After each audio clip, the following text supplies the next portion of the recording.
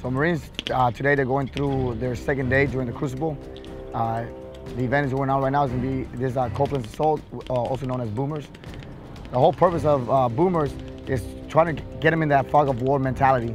Uh, through all that fog, through all the chaos, being able to work as a team, use those buddy rushes uh, techniques that they've learned throughout their time here in recruit training, and be able to apply them and fundamentally uh, use all those all those tactics to be successful in this course.